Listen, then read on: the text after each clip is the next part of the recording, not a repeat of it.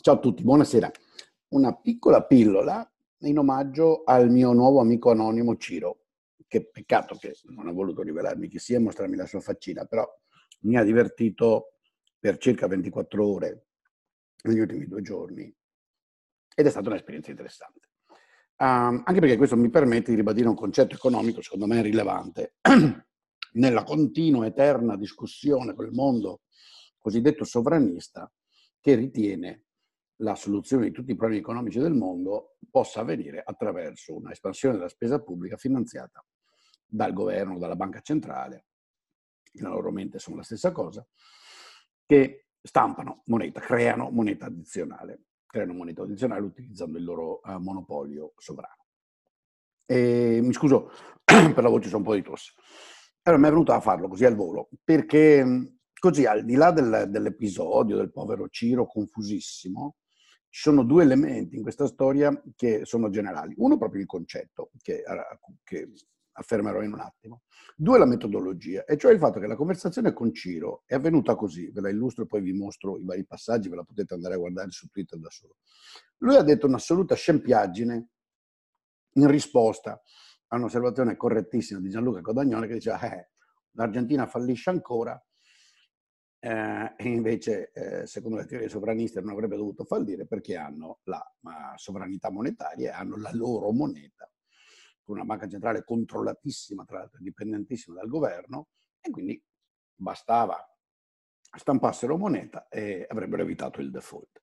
A questa osservazione correttissima, come illustrerò in un momento, il Ciro ha risposto con una uh, battuta scema uh, che dimostra la non comprensione dei meccanismi economici. Ha detto, eh no, stanno facendo default perché hanno debito estero in valuta estera, in particolare in dollari, hanno, si sono indebitati in valuta estera e quindi eh, adesso loro il dollaro non lo controllano esattamente come l'Italia non controlla da sola l'euro, quindi non possono stampare dollari esattamente come noi poveretti non possiamo stampare euro.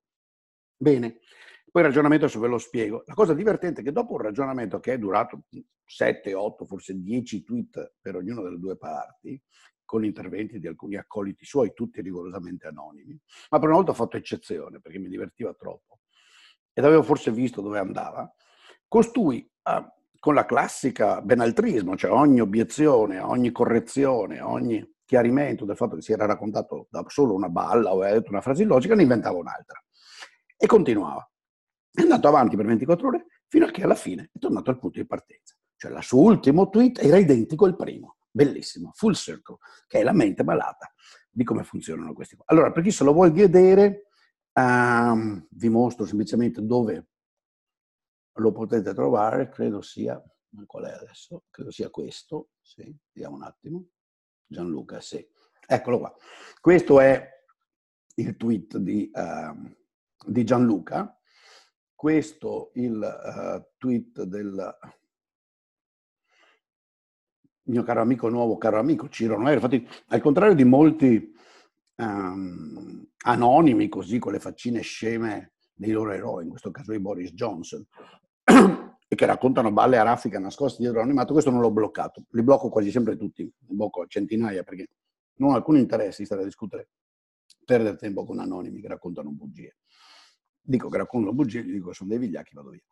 Questo qua invece non lo so perché, insomma, mi è riuscito simpatico e gli ho spiegato il ragionamento. Allora, facendola breve, poi chi è curioso si vada a vedere la sequenza di tweets e, e se la goda. Io uh, avevo pensato di farveli vedere una volta, ma verrebbe una pillola troppo lunga, non vale la pena. Allora, qual è il concetto che ho cercato di far capire questo signore? E che dovrebbero far capire, bisognerebbe far capire regolarmente a questi sovranisti, che il loro argomento, secondo cui l'unico caso in cui si rischia di fare default con moneta sovrana e quando ci si indebita in moneta estera che non la si può controllare, è un argomento erroneo, fallace, fallace, per due ragioni. Da un lato, perché ci sono sbagliati esempi, e credo che l'Argentina di oggi sia l'ennesimo, uno famosissimo, quello della Russia al 98, che portò alla rovina, infatti, di long term capital management, in cui paesi con perfetto controllo della propria moneta e che stanno scegliendo o hanno una situazione in cui stanno scegliendo di, fa, di difficoltà con valuta estera, vedremo poi cosa vuol dire questo per un Stato sovranista, scelgono con valutazione economica a freddo, di fare default anche sul debito emesso in valuta propria. Così fece la Russia al tempo che fece un enorme default sul debito emesso in rubli, che ovviamente al long term capital manager non si aspettavano avvenisse, non tanto perché erano sovranisti, ma perché ritenevano che i costi che la Russia avrebbe dovuto pagare a fronte di un default anche sul debito proprio sarebbero stati troppo alti e non se li sarebbero permessi. Invece eh, fecero questa scelta. Adesso no, non stiamo a discutere se la scelta fu saggia o meno, non è quello il punto. Il punto è che è una delle tante volte in cui uno Stato sovrano fa la scelta razionale, o almeno razionalmente, magari non è quella ottima, di fare default direttamente sul uh, debito emesso in valuta propria. Così sta facendo l'Argentina. Quindi anzitutto l'affermazione secondo cui fai default solo perché hai debito estero e non fai default sul debito in valuta interna, in valuta propria, è falsa. Ma non è solo falsa storicamente, è illogica. Perché? Perché siccome la teoria cosiddetta sovranista dice che tu, Stato sovrano, puoi stampare quanto vuoi, espressione stampare, puoi creare quanta moneta tua vuoi, no? Quante lire o quanti peso vuoi, e che questa la puoi usare liberamente sul mercato, che questa non creerà inflazione. Il povero Ciro si era reso conto a un certo punto della discussione che questa affermazione è idiota. Infatti ha detto, eh no, ma se lo fanno si crea svalutazione, ma veniamo anche a quello.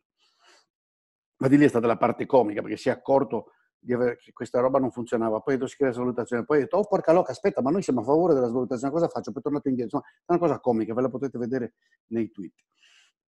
Ma ritorniamo al punto. Siccome la teoria di fondo dice che tu puoi emettere una quantità infinita, fondamentalmente, o perlomeno priva di limiti superiori, e che comunque te l'accetteranno, bene, se tu vedi che stai andando in difficoltà con il debito in valuta estera, l'unica cosa che devi fare è stampare moneta propria, andare sul mercato dei campi e comprarti valuta estera. Quando ti compri valuta estera, la usi per comprare il debito che hai emesso tu e che si, e che si compra e vende sul mercato secondario in valuta straniera, dollari, lo ritiri, probabilmente ci guadagni perché nel momento in cui hai delle difficoltà quel debito, anche se ha un valore facciale di 100, probabilmente commercerà subpar, commercerà 70, 50, a seconda di quanto rapidamente tu anticipi la situazione, puoi fare questa scelta. Se sei molto lungimirante, molto bravo, lo anticipi subito se aspetti all'ultimo momento, molto probabilmente avrai un trade-off, perché da un lato il debito si commercerà a valori molto bassi, 30, 40%, 20%, dall'altro ovviamente la tua valuta si sarà svalutata e dovrai emetterne molto di più per avere dollari e euro. Ma nella misura in cui la tua valuta ha un prezzo positivo sul mercato Forex e ce l'ha, come oggi ce l'ha il peso argentino, dal punto di vista, dal punto di vista eh, io non sto dicendo io raccomando di farlo. Sto dicendo, se fosse vera l'idiota teoria sovranista, basterebbe fare questa cosa. Ovviamente la teoria sovranista è idiota. E una delle ragioni per cui è idiota è esattamente questa conclusione, a cui porta, a cui porta logicamente, ma una conclusione talmente assurda che uno dice, eh beh, cazzo, deve essere sbagliata l'ipotesi, che è esattamente quello che bisogna far osservare. È sbagliata l'ipotesi. E cioè cos'è sbagliata l'ipotesi? L'ipotesi è che non è vero che il valore della moneta che tu emetti è indipendente da quanta ne emetti e da quanta ne viene domandata, indipendentemente dalle tue scelte. Chi possiede valuta straniera e ha di fronte un paese in crisi finanziaria, fiscale, economica, di crescita, dice, beh aspetta, la valuta di quel paese non vale tanto, quindi io non ho tanta voglia di scambiare i miei dollari per dei peso.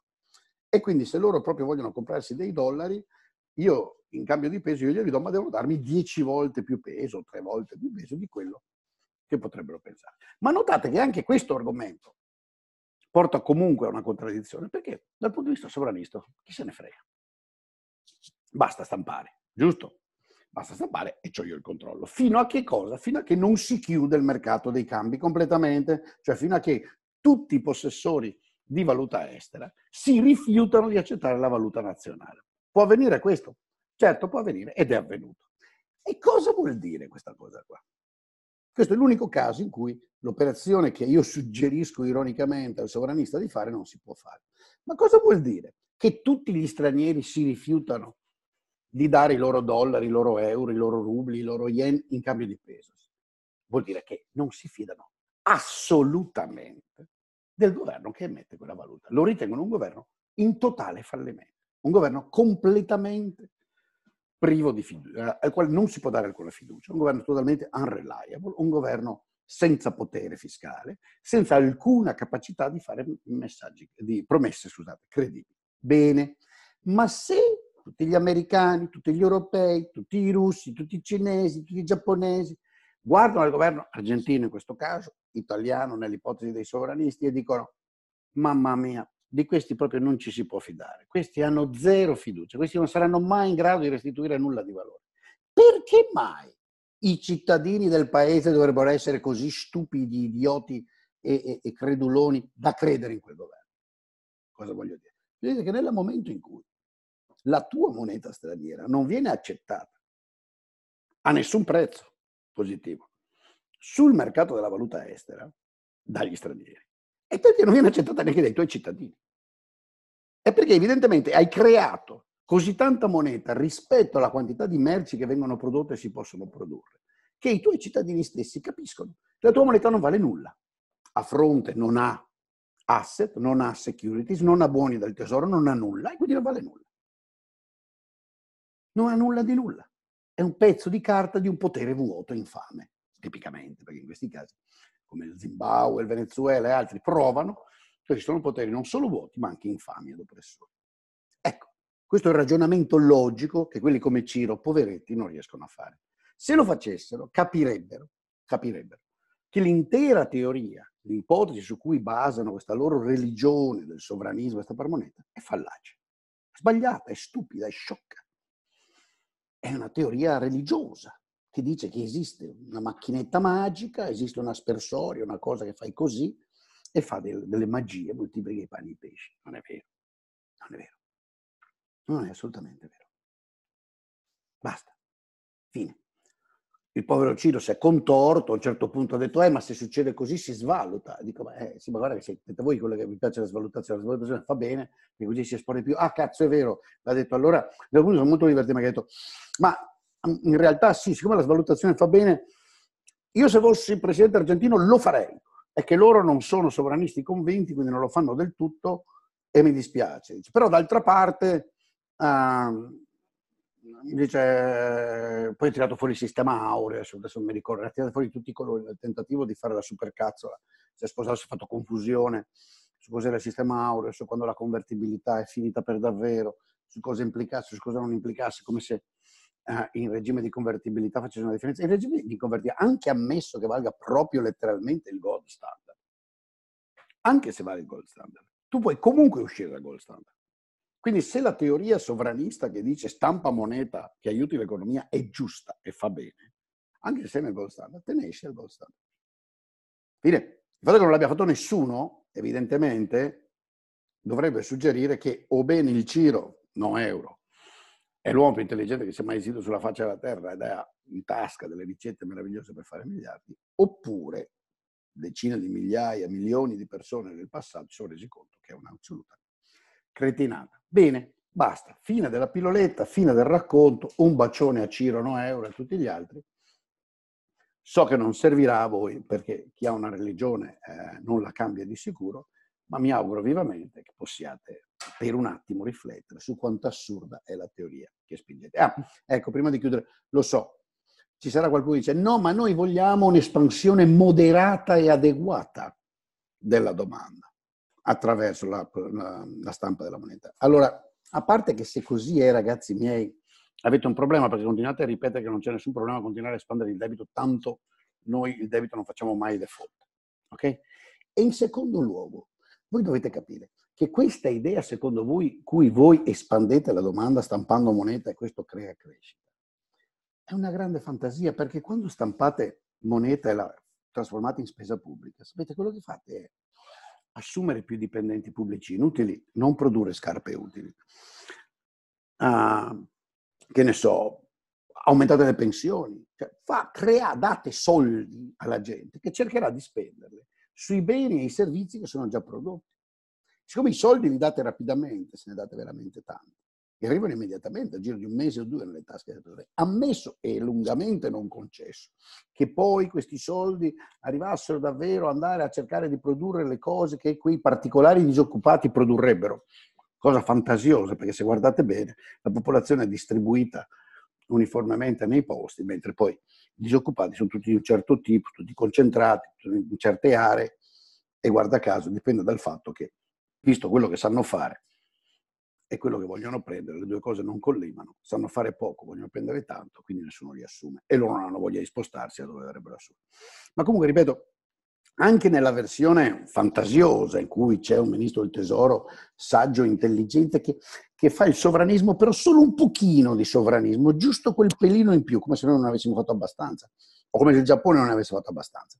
Quindi fa quel pelino di spesa pubblica in più, giusta, giusta, giusta, per creare occupazione non funziona, non funziona neanche quello, perché quel, quell'occupazione, cioè quei, scusate, quei soldi extra finiscono nelle tasche dei soliti noti e i soliti noti vanno a comprare le solite cose. Cosa che tra l'altro fanno anche adesso. Ok? Ma questo è un detour. Il punto vero del buon Ciro è che Ciro ci ha mostrato che gli argomenti sovranisti finiscono a per inchiodarsi da soli, finiscono in un cerchio logico da cui non riescono a uscire e a ogni passaggio al cerchio logico c'è un errore, o storico o logico. Mi spiace, è così. E non sono gli unici, ma oggi è toccato a loro. Ciao e buona serata.